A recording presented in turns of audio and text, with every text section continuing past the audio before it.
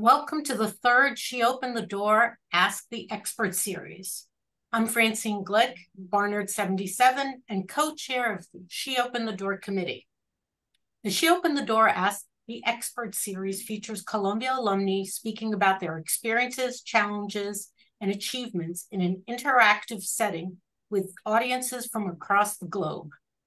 I am now pleased to introduce our mo moderator, Kate Konechny Pope, SPS 13, and a member of the She Opened the Door committee, and our speaker, Tamara Gruzbarg.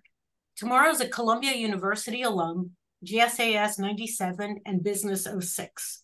She holds an MBA and a Master of Arts in Statistics from Columbia University and a Bachelor of Science in Mathematics and Sociology from Kiev University in Ukraine.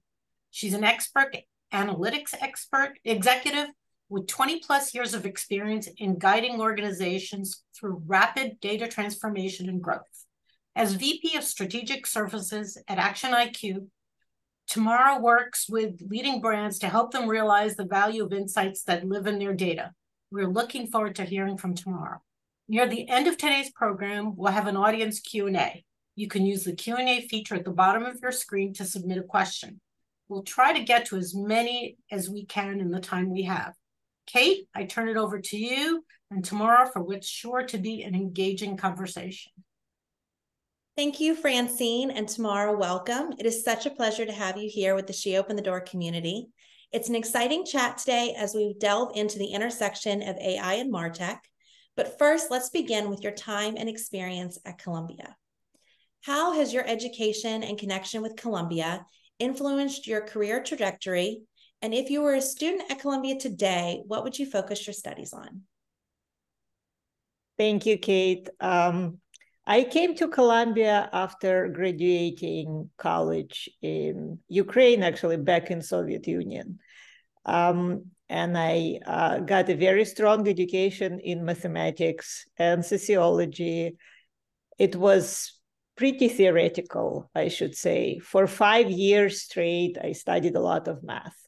So when I came to Columbia, um, statistics program in particular gave me exposure to the practical aspects of the field and also allowed me to combine my interest in math and social sciences um, as an area of application through projects and exposure to internships. Um, and then, as you heard, uh, after a few years, I was fortunate to come back for executive MBA program at Columbia. And it really strengthened uh, even more my uh, perception of Columbia as an outstanding academic institution with very strong ties to practical applications of learnings. Um, so um, obviously huge, huge impact on my career path.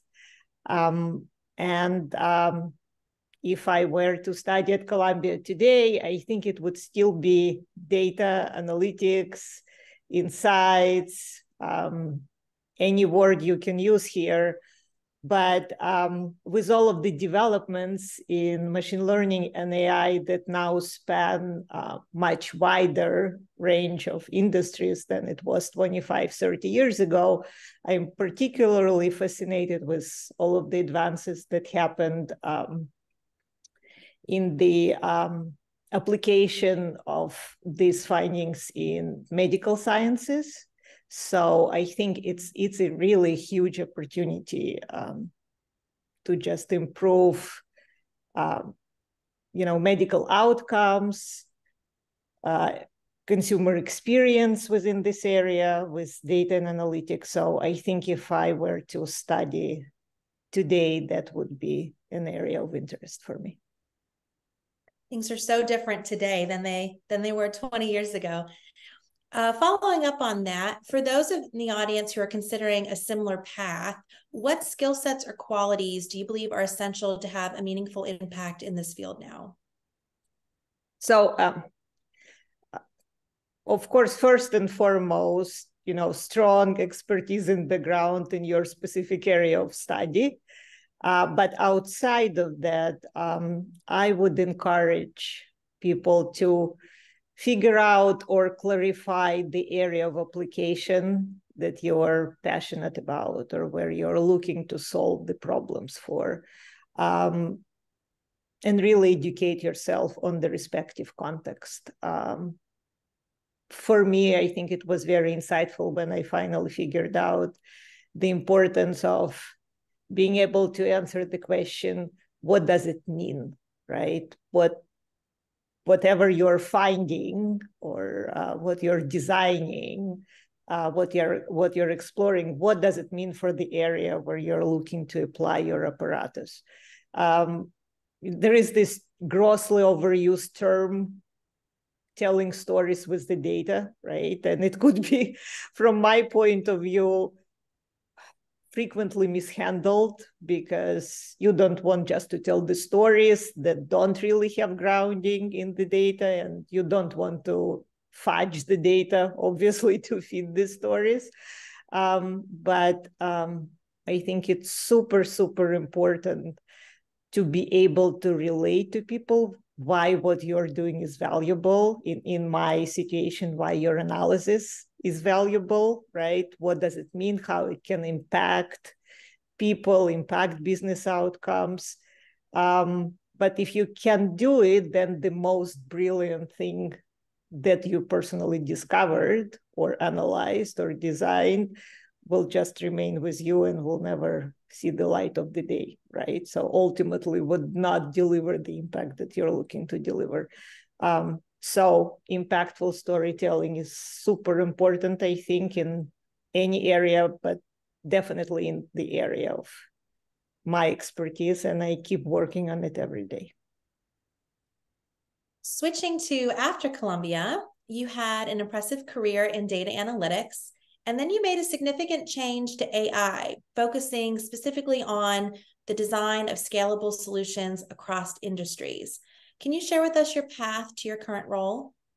Um, of course. And, um, you know, it's been a significant change, mostly because the industry changed significantly. I would argue that in many instances, we use these terms um, not necessarily interchangeably, but there are, you know, different interpretations of what data analy- analytics, predictive analytics, machine learning, AI. Um, at the end of the day, what really changed over the years is just the scale of information that we can process, right? Efficiencies of algorithms that we are applying to this data. Uh, ultimately, when I started almost 30 years ago, um, I started in financial industry, in banking, in credit cards. Um, and um, I was working on models to predict very specific outcome. Will the person open the credit card and how likely this person is to pay on this credit card, right? So these types of predictive models uh, were built on kind of limited set of data and we would refresh these models not very frequently and maybe redevelop them once every year and maybe would read the results of the model performance on the monthly basis. Uh, now switching to today, I'm helping our clients to develop multi-tier solutions, figuring out probability of somebody to react to specific piece of content at this given moment through this particular channel and understanding what is the next step that this person is going to take. So definitely the outcomes became much more complex, as well as just the frequency and the um, immediacy of understanding if your models are working or not. Um, conceptually, though, I would say you're still thinking about figuring out what's right for this customer at this particular moment in time. And how have those past experiences of yours shaped your current approach at ActionIQ now? Uh, well, um, my all of my experiences have been uh, extremely helpful uh, for my current role at ActionIQ. So ActionIQ is the um, technology company, right? So we uh, created a software, um, very exciting, sophisticated software in the area of uh, customer data platform and customer experience hubs. Um, and we have clients across multiple industries of clients of different sizes that are using our software. And for me, it's the first um, vendor size side experience, right? So I came to ActionIQ from what I would call a client side. I worked uh, again across different industries, but um, on the brand side, started in financial services, and then I worked in re- omni-channel retail, um, and then media and publishing.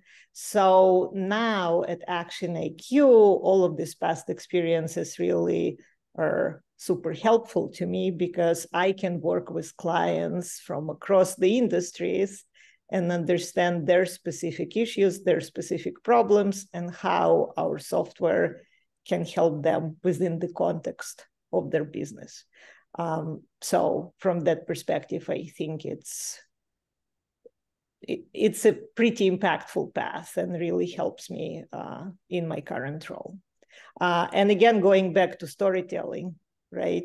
Not just selling the software, not just telling people that you know you have all of these amazing capabilities, uh, making them see how it will actually drive their business forward um, is a very important thing.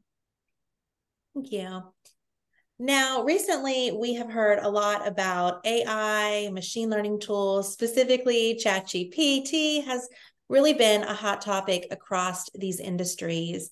How do you see this benefiting the marketing sector and how can it also coexist with the human approach?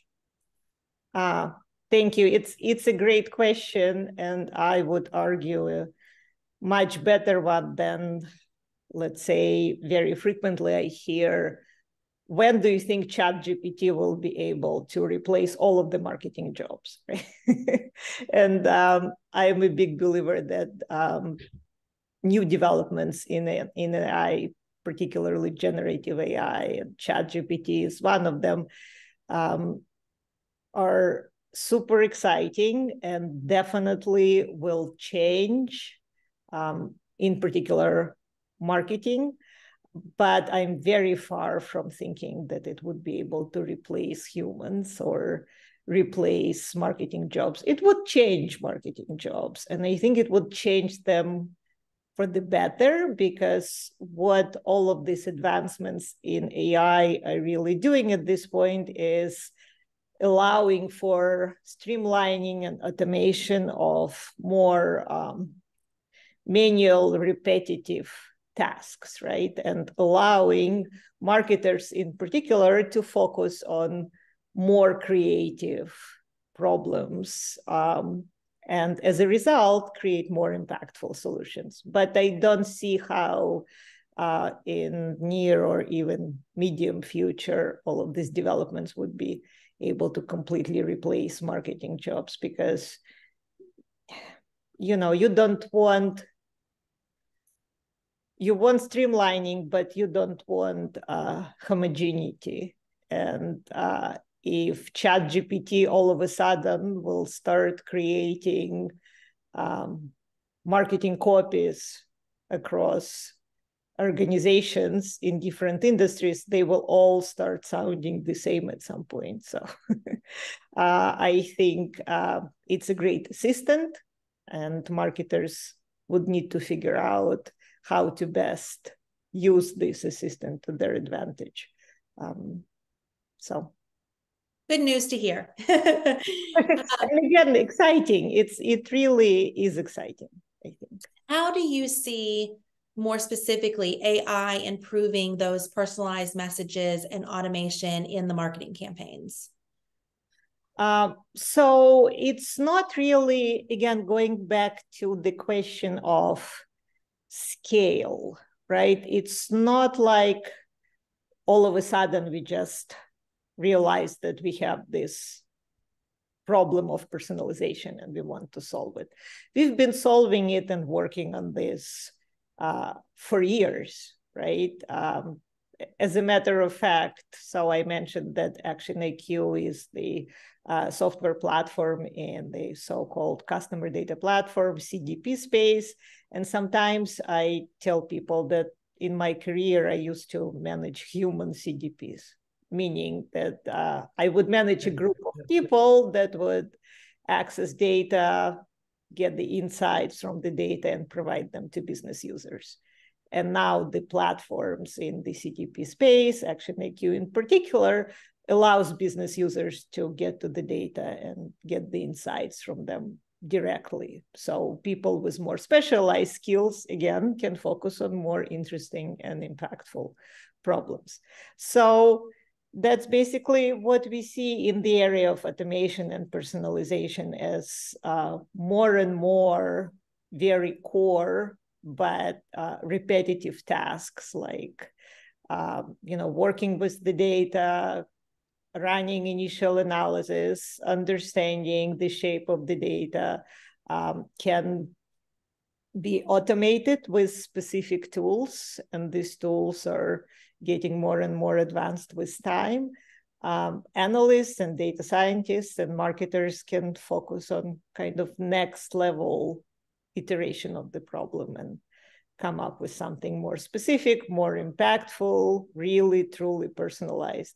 Because I'm sure you heard the question um, or slogan or statement we want to reach out to the customer with the right product at the right time through the right channel right it's been around for years and years and years and uh, what advancements in uh, machine learning and AI are doing is pretty much bringing us closer to this to this idea.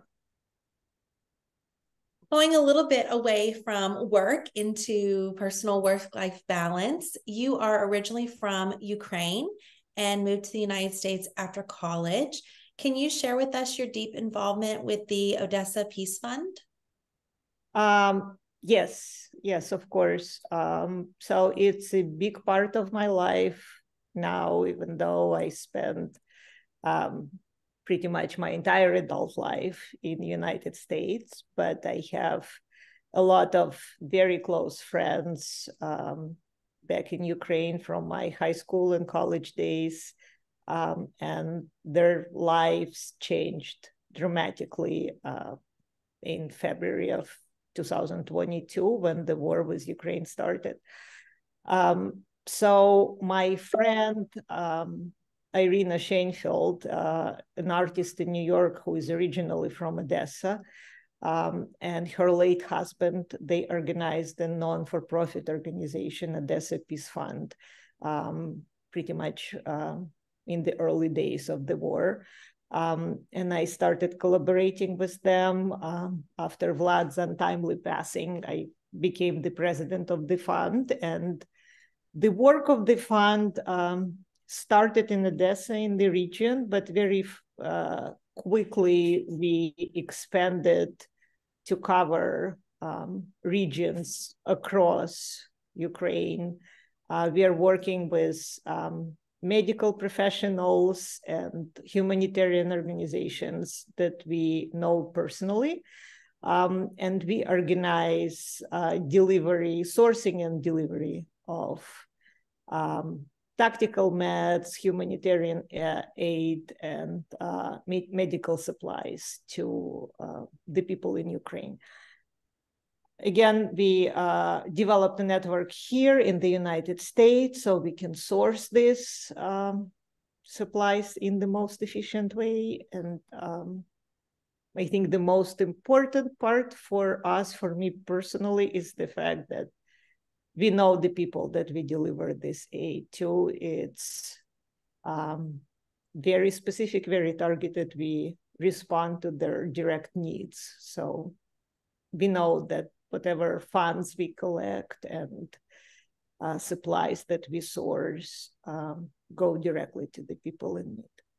Um, and I involve both of my daughters into this work. Um, in general, it's you know it's it's kind of hard to sustain the attention to something that doesn't uh, relate to people in United States directly, right? So I find it um, very important for me to keep talking about it, to keep raising aware awareness, to make sure that uh, you know we're bearing witness and we are doing what we can to um, relieve the suffering. Thank you for all your efforts in that and explaining it to us today. We are going to do one final question before we turn it over to the audience Q&A. So if you haven't had a chance to put your question into the chat box, please do so now. Lastly, we have heard about your personal passion for archaeology and visiting historical sites with your family. Can you share a recent favorite and how your passion came about?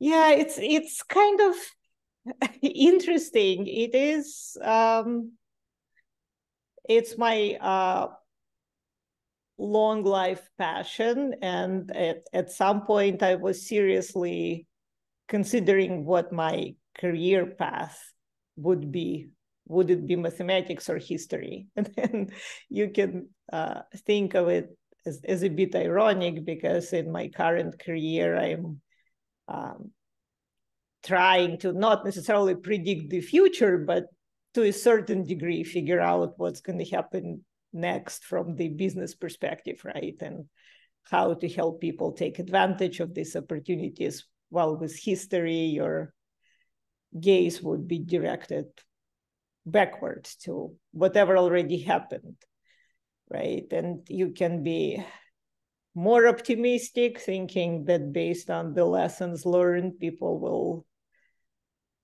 design the future based on these lessons. And unfortunately, in light of the current global events, it's hard to be very optimistic in the moment, right? Because the horrible things are happening all around the world. And then the most current one in Israel is just heartbreaking.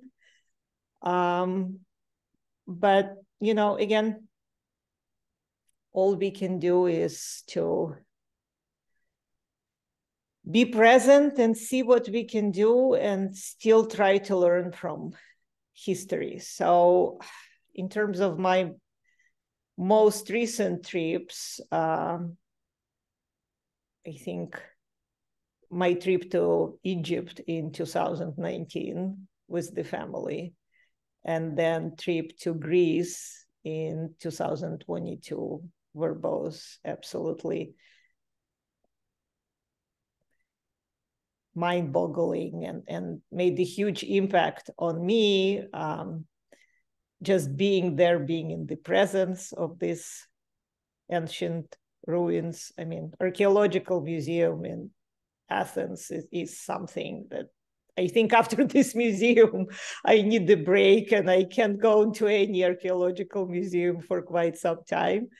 Um, but also, what was super important to me is to share it with my family, with my kids, uh, seeing, uh, trying to teach them something, but also seeing a lot of things through their eyes as if for the first time, again, gives you a perspective and grounding in, in what you're learning and how you want to talk to people about it. Thank you. Well, I think we have some great questions from the audience that are coming in. Our first one is a little bit of a two parter. How do you keep up to date with the market and news? And a follow up to that, what resources do you recommend for developing leadership skills specifically for someone who is early career engineer aspiring for management? Um, so, um, how I keep up with the market, um, there are a lot of great um, resources, online resources, and marketing influencers that I um, like to read, especially in the area of Martech. Um, Scott Brinker comes to mind. Um, he's he's a great um, you know educator um, in this arena. Um, definitely research from Gartner also comes in very, very handy. Forrester, these research companies that are um, investigating the market marketing technology space in detail. Um, so these are my key go-to resources. Um, our marketing department at ActionIQ is actually amazing in consolidating information for us to uh, see what's going on, what type of developments are happening. Uh, now, in terms of leadership resources, um, there are a lot of great networking opportunities. I think there are uh, more and more of those uh, available online, but also local organizations, and particularly in New York. I'm in New York, so always on the lookout for specific, you know, industry gatherings, conferences that gives you exposure to market on the one side, um, specific within the specific industry, uh, but also leaders in this industry that um, you know are there and sharing their expertise, um, and you can form connections with. Um, so I would definitely encourage you to look for these local types of engagement outside of large industry conferences. Again, depending on uh, what your where your interests lie, um, and try to make these local connections. Um, anything anything else I missed in this question? Any books or articles that you might recommend as well? Books or articles. Again, the um, articles from from these influencers in in particular industry. I think I would definitely recommend um, usual suspects like Harvard Business Review, our uh, periodicals from um, UPenn Business School, for oh. example. Um, there is a there is a great person, uh, professor who originated the term of customer lifetime value and really advanced and uh, innovative approach to estimating customer lifetime value. So um, again, for, for the for the industry that I am in, um, these are very interesting resources to to follow. Thank you. Our next question says the VC Vinod Khosla predicts that all jobs will be gone in 25 years. He doesn't necessarily see this as a bad thing, but what are your thoughts? hmm. I, my thoughts that it's too short, really, especially when you're talking about old jobs, irrespective of industry. Let's forget about marketing and, and analytics. Let's think about, I don't know, doctors, nurses, teachers. Uh, I would argue in 25 years, I don't see AI teaching the kids outside of just maybe giving lecture, but we know that teaching goes way beyond lectures and checking homeworks, right? Especially for younger kids. Um, so there could be some transformations. And again, I think that these transformations in the job functions are very welcome and they would open up opportunities for more creative approach um, to solving societal problems. Uh, but I really don't see how they will all be gone. They, they can be transformed and transformed quite significantly. And this is something I absolutely welcome. Thank you. Our next question is about mentorship. It is often highlighted as a crucial component for career growth. Can you share a story about a mentor who influenced your career trajectory? And then what aspects we should look for in a mentor, specifically in the AI and MarTech field? Uh, well, I can say that I was incredibly lucky uh, throughout my career uh, finding great mentors who were true champions for me. Um, and uh, it start it started early in my career um, in financial services when I was at JP Morgan Chase. I had a great mentor uh, who was my boss, uh, Kevin Rice, and he was the one who actually demonstrated for the first time uh, how important it is to tell impactful story with the data and how to relate to people without necessarily background in your area how to relate to them what you're doing and how it's going to impact them um, so he provided a huge support to me in terms of developing this particular skill and he was really inspirational um, again uh, had great women mentors throughout my career uh, in digital fashion, in media. Uh, they gave me, um, Jessica and Leslie uh, gave me master classes on leadership, really showing how to build the team, motivate the team, how to lead. Um, they were all very direct with their feedback.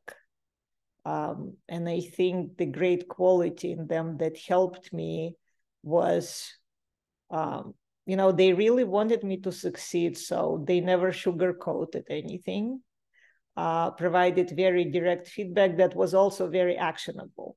It wasn't just in general, you did great, or you really didn't deliver this time. It was more around this is how you can make it better in this area, and these are the specific steps, and I will help you here and there. So uh, we could build the plan together, and I understood the outcome I was striving for, um, and I always felt that they're there for me to help me and to guide me. So I think these qualities in mentors are um, as important or even more important um, in the current state of my career. And uh, that's what I am uh, trying to instill with people who consider myself a mentor to them. But I also wanted to mention that, you know, sometimes when we are saying mentor, we assume that mentor is an older person with more experience. Uh, but I can tell you that working for the past five and a half years in um, tech startup world, I work with a lot of brilliant people who are younger with, than me and have shorter careers just by the you know virtue of years. Um, but I keep learning from them a lot every day, and I think it's very valuable for anybody to be able to see mentors pretty much across um, um, career ladder and understand where you can learn and um, how to improve yourself and move your career forward, irrespective of where the person you're learning from uh, is in their career. We have an audience member who is in fashion sales, forecasting, and merchandise planning. They are wondering how you see AI bridging the data between different functions, as in marketing data, somehow connected to a sales forecast in a dynamic way. Oh, that's actually a super interesting question and something I was intimately engaged in when uh, I worked in di- digital fashion. I worked for several years um, for Gilt Groupe, which was one of the uh, flash sale sites. Um, and even though I was my team, analytics team was a part of marketing, but we worked very closely with um, finance department and with merchandising department, right? Because analyzing customer data in a vacuum without understanding what exactly they're buying and how this information can inform future buying right? And without understanding overall what's the predicted customer lifetime value of our customer portfolio and treating it almost a as a financial asset. Um, if you don't do that, then you're not really uncovering all of the opportunities that data can deliver. And it requires some sort of adjustment, right? Because your unit of analysis is different when you're looking at customer versus uh, a merchandise that you're selling, right? But um, there is the there is an alignment and education process between the teams that need to happen so they can translate results of the analysis and what things like um, that mean you know marketing can say i have x number of customers that spend this much money so i'm very happy that you know from the marketing perspective i made my plans but then how do you translate it to the fact that these customers um, actually purchased number of different items across styles? Was it purchased in retail in store or online? What was the most successful channel? Um, all of this information that's critical for merchandisers. How do you tie this information and again tell the story in the way that uh, is relevant across different divisions is is super super important. And again it's it's an ongoing process i think and with developments in ai and machine learning um, it's becoming more efficient uh, but conceptually i think it's very important to have these internal alignments within different between different functions so people can speak the same language and make decisions jointly based on this information. Thank you. Our next question is going back to AI. How do we deal with AI from an ethical perspective? Um, it's a it's a great question that you know obviously you see a lot of people are concerned with um, and it's a daily i think it's a daily process because we are not AI, we are not machine learning mechanisms, but we also learn, right? I think it's it's important to not make assumptions, but also go through kind of testing and learning process for us as human beings as we are dealing with new developments in AI, right? Because we can't really come up with a whole list of rules right now saying, well, these are the list, these are the rules that we will make sure AI abides to. I mean, we can at the, at the conceptual level, but not practical level because we don't know yet before we test how AI will actually react to different tasks and what are the uh, ethical problems. So I think it's it's super important to have guidelines, but understanding how potentially we can put them into practice through uh, ongoing testing and learning. And then our next question asks Could you talk more specifically about what AI tools you already use in your work and how? Uh, so, there are certain things uh, within ActionIQ that we uh, build into our platform right? And they um, deal with different types of machine learning models and predictive analytics. So we help our clients with, again, getting closer and closer to providing customers with the right product through the right channel at the right time. Uh, so we have a set of internal tools that help our clients do that. Um, there are various algorithms that we uh, deploy within our platform. Um, we also work jointly with our clients um, that developed something internally, right? So they have their own tools and they want to scale them up through our platform so they reach more customers and they put the insights uh, into the hands of their marketers. So we um, integrate with these internal tools to make sure that they're all available within the platform. And um, as time progresses, we don't have any generative AI capabilities within our platform just yet, but we are in the process of uh, developing them.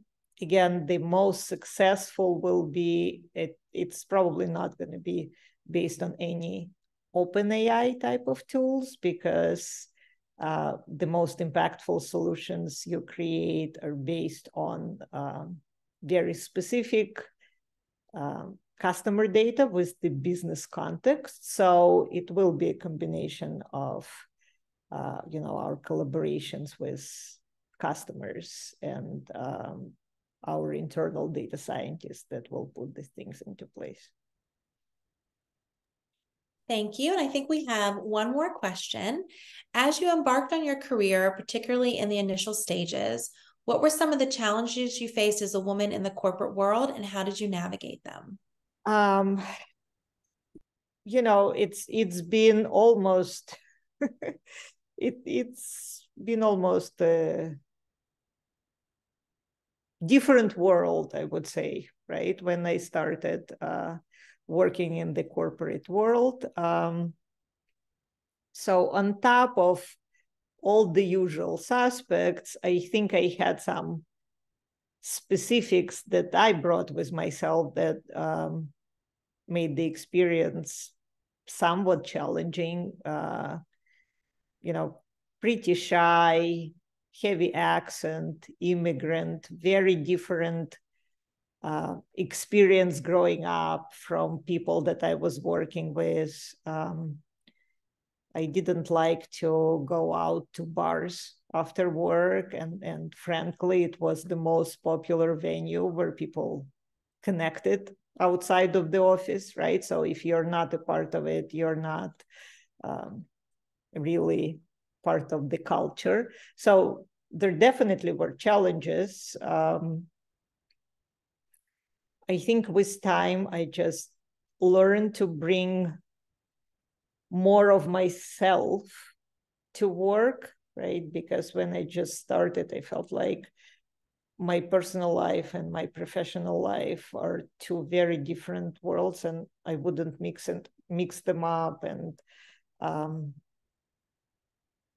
I I wasn't really very open. I mean, I was friendly, but I wasn't really making a lot of connections with people because it, it's hard to make when you're not bringing your full self to whatever situation you're in right um, so was definitely interesting experience um, another point is uh, i saw quite a lot of uh, female role models that were um, at the um, mid-level of management, but almost nobody at, at the truly senior executive level.